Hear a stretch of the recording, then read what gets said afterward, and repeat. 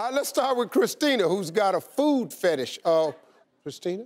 Well, food excites me, and I mean it excites me. So I look up cheesecakes and cupcakes and those little meringues with the, the Chantorts and the strawberry shortcakes with the juicy cherries on top. And yeah. that gets me going and gets the, the tone set up here. Then when I get into the bedroom, then I start thinking of my favorite food of all time, which is Popeyes chicken. me explain. it gets you so excited that I take that and I put that in that special place in my mind. So if he's not doing what he's supposed to in there, then I start thinking Popeye spicy, Popeye spicy, Popeye spicy. And it just gets me to where I need to be.